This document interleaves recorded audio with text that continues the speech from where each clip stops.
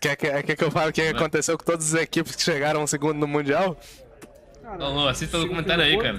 Não, não, você quer que eu fale? Não, não, não, assista o documentário. Não, não, é, eu posso contar, pô, o que acontece com todos os top 2. Que isso, me filmou dormindo, boy, filho da p. Essa, de fato, a nossa jornada na Champions, né? É, é- é uma maldição, Matias, você quer que eu conte? Ah, vou pausar o vídeo aqui, vai. Vai, vai, pa- Pausa aí, pausa aí pausa aí.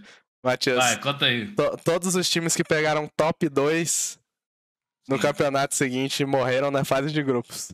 Todos, sem falta. Mas depois res- ressurgiram e ganharam a Champions? Sim, ressurgiram do último lugar e ganharam a Champions. Quem? Maior exemplo.